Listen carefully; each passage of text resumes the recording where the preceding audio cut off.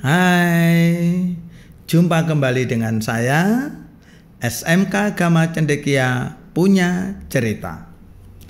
Assalamualaikum warahmatullahi wabarakatuh. Salam sejahtera bagi kita semua. Salam untuk anak-anak Indonesia. Ya. Pada siang hari ini saya ingin melanjutkan tentang lima dasar yaitu tentang Maslow, kebutuhan Maslow. Akan tetapi pada hari ini saya ingin membahas satu pokok persoalan saja, yaitu pertama yaitu kebutuhan aktualisasi diri. Yang artinya kebutuhan aktualisasi diri itu hanya saya bacakan saja untuk bahasa Inggrisnya karena saya tidak ahlinya, takut salah self actualization ya. Jadi the need for development graphically ya, ya itu this need a metric autonomy and achievement. Nah, kenapa saya sangat hati-hati untuk mengucapkan karena ini didengar oleh khalayak ramai tapi saya ingin menjelaskan aja secara Indonesia yaitu aktualisasi diri. Ada apa di balik aktualisasi diri? Mungkin anak-anak mulai berpikir ya bahwa setiap manusia itu mempunyai banyak kebutuhan.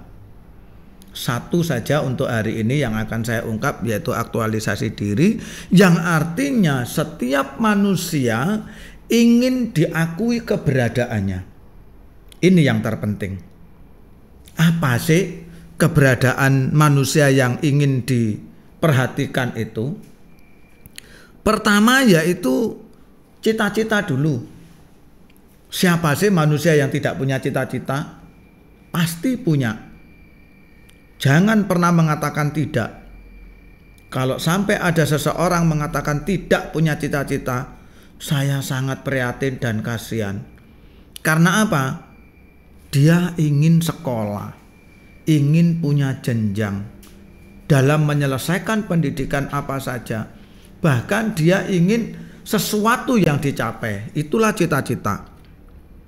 Sedangkan yang kedua yaitu keahlian. Mungkin bagi kalangan manusia ada klarifikasinya oh orang itu pinter atau tidak pinter.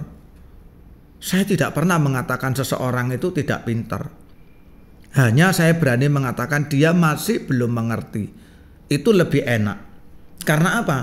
Kalau mereka sudah melampaui diberi pembelajarannya, saya yakin mereka akan tahu bahwa oh, aku bisa mengukur kemampuanku sampai di mana. Karena ada orang yang mengatakan retardasi mental itu pun itu orang menilai bahwa IQ-nya sangat rendah. Tapi di balik kerendahan itu ada sebuah keahlian yang akan dikerjakan secara mumpuni. Sehingga saya bisa memberikan contoh anak-anak retardasi mental yang mempunyai kemampuan mungkin golep, mungkin mesin, mungkin elektronik atau mungkin keterampilan-keterampilan yang lain itu adalah bentuk aktualisasi diri bagi setiap orang. Jangan pernah merendahkan orang. Ya. Ini yang terpenting. Sehingga apa? Seseorang itu mempunyai kesukaan yang harus betul-betul didalami. Karena apa? Banyak orang itu kelihatannya sepele. Bahkan saya sering kali mengamati orang-orang yang mempunyai keterampilan itu di luar kemampuannya sendiri. Dalam arti apa? Bakat dan minat itu muncul di dalam dirinya. Ya. Kita tahu Tompi itu ya terkenal pencipta lagu dan penyanyi.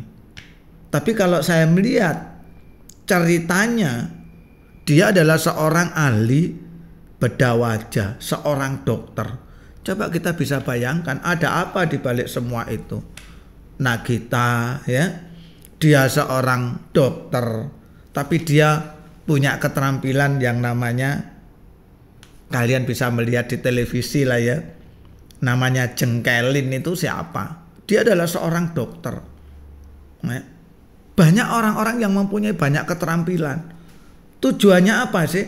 Agar aktualisasinya dia itu betul-betul dipahami orang lain, dimengerti orang lain, dan disukai orang lain.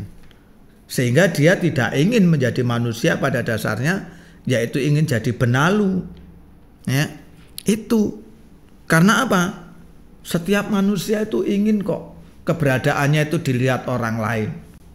Walaupun toh mohon maaf, saya tidak menyinggung masalah agama ya. Orang memakai hijab atau pakai kerudung macam-macam. Pada dasarnya mereka pun juga ingin keberadaannya itu diakui orang lain. Sehingga apa? Hijab pun tidak hanya sekedar berukutan begitu saja, tapi mereka punya hiasan macam-macam. Nah, itu adalah bentuk ya. Nah, kebutuhan manusia itu semua penuh ya. Gak ada ceritanya orang itu Aku lo gak butuh apa-apa, aku lo gak punya keinginan apa-apa, tidak bisa.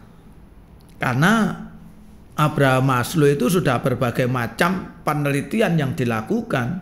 Dia menilai bahwa aktualisasi manusia itu butuh dihargai keberadaannya. Saya pun mungkin menjadi orang kayak contohnya mohon maaf kalau Deddy Kompuser pernah menyatakan saya dulu bagi mama saya tidak naik sekolah itu hal yang biasa. Loh, tapi siapa sekarang melihat Deddy Kompuser itu siapa? Ya, coba kita bisa bayangkan aktualisasinya apa? Dia punya apa? Nah, semacam mentalis ya. Dia menjadi presenter hitam putih, dia mempunyai podcast segala macam. Itu adalah bentuk dari mereka-mereka yang mempunyai aktualisasi diri. Di sinilah untuk anak-anakku sekalian, mungkin yang anak SMP, jangan pernah takut melihat kakak-kakak kelasmu ya, apalagi yang lulusan SLTA yang mungkin hanya mengatakan aku lupa hanya sekedar lulusan pemasaran multimedia, ya, farmasi, keperawatan. Itu yang ada di SMK Gama Cendekia ini, ya. Tapi di balik itu semua, saya yakin anak didik dari SMK Gama Cendekia saya yakin mempunyai aktualisasi diri yang betul-betul luar biasa. Cuman mereka tidak berani menampilkan. Justru sekarang ini saya ingin memberikan motivasi kepada kalian semua, siapa pun orangnya, tidak hanya di SMK Gama Cendekia saja. Mungkin ada di SMK Tunas Wijaya atau sekolah-sekolah keterampilan apa saja ya. Itu perlu untuk kalian semua kembangkan. Karena aktualisasi diri kalau tidak kalian kembangkan, kalian akan menjadi manusia yang mati, tidak punya kreativitas. Ini maka dari itu saya ingin membangkitkan kepada anak-anak didik saya siapa saja dan berada di mana saja. Karena apa? Kita sudah diberi contoh-contoh ya, mulai dari Miangas ya sampai ke Aceh ya, Pulau Rote itu semua saudara kita. Itu semua anak-anak bangsa semua ingin dihargai. Katakan aja lah seorang presiden itu ingin membangun negaranya, wilayahnya semuanya adil dan makmur. Tapi masih ada ya yang dianggap orang terbelakang, orang yang mungkin dianggap fanatik, atau orang yang dianggap mungkin pribumi, atau kesukuan yang ada di pelosok-pelosok. Tapi kalau kita mau gali, mohon maaf, aktualisasi diri. Gracia Poli itu bukan asli orang Jakarta. Dia dari mana kita tahu Apriliani siapa itu? Ya. Semua orang melihat bahwa mereka adalah sekarang ini menjadi sorotan dunia karena kemenangannya di bidang bulu tangkis di Olimpiade. juara dunia lagi. Ini kita sudah mulai tidak menutup mata.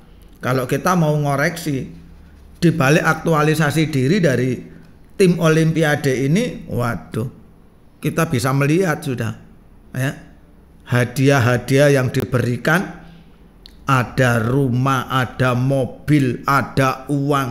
Bahkan sekarang mulai uang mencari dia berbentuk apa? Iklan-iklan segala macam aktivitas. Nah, sudah. Hal yang kecil saja. Mungkin saya mengatakan walaupun dia juara olimpiade, apakah dia punya keahlian matematika misalkan? Atau mempunyai keahlian mesin misalkan? Enggak. Tapi marilah kita mencoba bahwa setiap manusia mempunyai aktualisasi diri itu ingin segalanya mulai dilihat orang lain. Tunjukkan kepada dunia bahwa kalian punya kemampuan. Ini yang saya mau. Ya, saya tidak mau kalian nanti menjadi manusia yang bagaikan pungguk. Ya, merindukan bulan. Tidak. Makanya saya sering kali menganjurkan kepada anak-anak didik saya untuk selalu belajar. Belajar dan belajar membukalah buku membaca dan membaca. Karena apa? Ada peribahasa yang mengatakan banyak baca banyak ilmu, banyak baca banyak tahu. Karena membaca itu adalah jendela dunia. Nah, di situ dengan berbagai macam literasi, apalagi sekarang dengan adanya teknologi yang sudah maju berbentuk HP ini yang mengalahkan segala-galanya, ya. Orang pun ingin menunjukkan Aku bisa, aku bisa. Itu. Kalau dulu SLTA terkenal cuman SMA, IPA, IPS. Katakan aja mungkin ada STM, ya. Tapi pemerintah melihat peluang-peluang daripada kegiatan masyarakat Indonesia ini, coba kita bisa melihat yang namanya SMK itu mungkin lebih dari 100 jurusan yang ada di Indonesia ini. Saya sendiri kadang-kadang sampai kagum. Ya. Kalau namanya di Surabaya itu ada SMK 5, mungkin ada beberapa jurusan ya, mungkin lebih dari 5. Contohnya di SMK Gama Cendekia di sini saja ada 4. Ya. Di SMK Tunas Wijaya itu ada satu. Ya, yaitu OTKP otoritas pemasaran itu ya. Nah, di Gama empat pemasaran, farmasi, eh, keperawatan dan multimedia. Itu juga merupakan keterampilan yang digali oleh anak itu sendiri. Sehingga mereka pada dasarnya nanti kalau aku lulus ingin memasuki sesuai dengan keahliannya. Maka dari itu untuk anak-anakku sekalian Jangan pernah takut. Ya. Apa yang ada di dalam dirimu mulailah kamu kembangkan. Ya, sekecil apa pun, ya. Jangan pernah menjadi lelucon. Ya. Ada dulu seorang anak didik mengatakan, "Cita-citamu apa?" Ya. Ingin jual tas kresek. Mohon maaf. Sekarang pabriknya itu loh ada tas kresek ya oh ingin jadi jeragan pabrik beting mohon maaf yang artinya pabrik beting itu tusuk gigi ya tusuk konde mungkin sompit itu bisa dibilang tusuk. Tapi buktinya juga ada pabriknya. Apakah mereka dulu punya cita-cita seperti itu? Ya, mungkin jadi lelucon. Ya. tapi sekarang orang sudah mulai melihat keahlian apa yang ada di dalam dirimu kita bisa bayangkan. Ya saya pernah melihat lukisan ya ada dari bulu sama-sama lukisan gitu aja. Ada ya dari kanvas ada yang dari tangan ya. Satu keterampilan. Ini yang perlu kalian gali. Jangan pernah kalian tidak menggali potensi kalian. Karena apa? Nggak ada ceritanya setiap manusia itu ingin diem dan diem.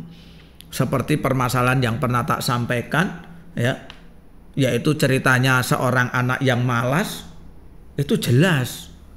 Namanya aja males wis nggak bisa disuruh apa-apa. Saya nggak bisa bayangkan orang males itu besok itu jadi apa.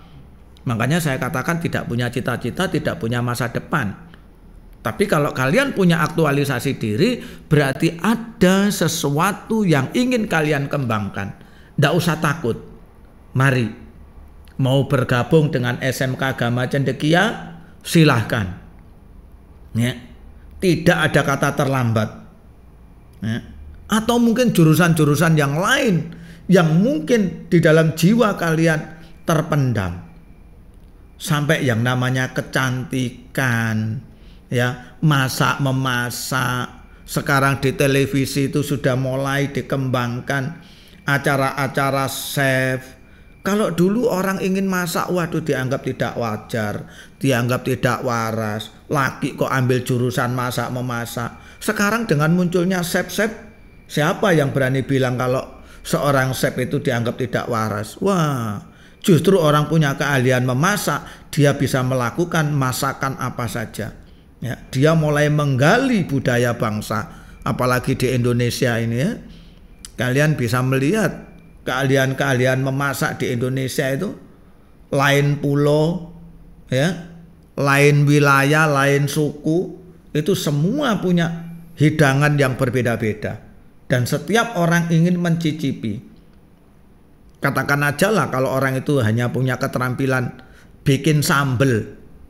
Saya bisa menghitung bisa sampai lebih dari 15 sambel itu ya.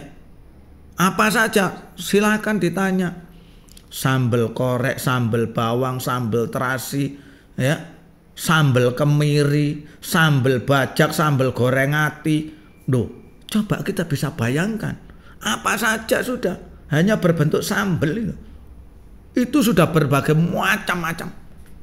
Ini. Maka dari itu untuk anak-anakku sekalian, jangan pernah takut. Dengan aktualisasi dirimu, kalian harus mulai membuka hati, membuka pikiran, aku harus jadi apa. Jangan pernah diam. Oke, sampai di sini untuk anak-anakku sekalian, aku akhiri. Wassalamualaikum warahmatullahi wabarakatuh. Terima kasih.